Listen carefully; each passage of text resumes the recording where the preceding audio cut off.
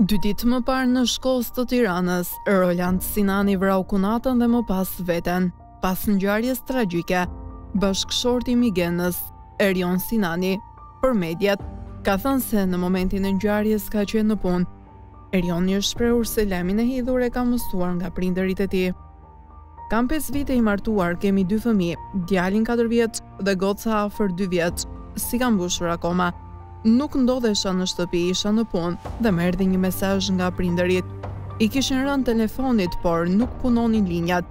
Kur mora mesazhin, i mora në telefon dhe më thanë se hataja e madhe kishte ndodhur. Janë vra dy veta në shtëpinë tonë. Ç'të shija? Policia. Gjak. Vëllain të shtrirë në tokë. Gjendja e tij ka qenë normale, ka qenë dikur në depresion, por kohët e fundit ka qenë mirë, ka deklaruar Erioni për mediat.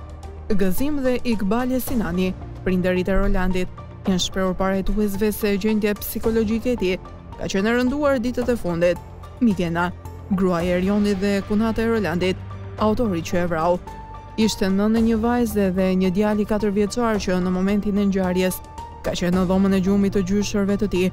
Sipas hetuesve, shkaku i tragjedisë dyshohet të ketë qenë e qara e vajzës së vogël dy vjeçare, e cila në ditët e fundit ka qenë e sëmurë dhe me temperaturë.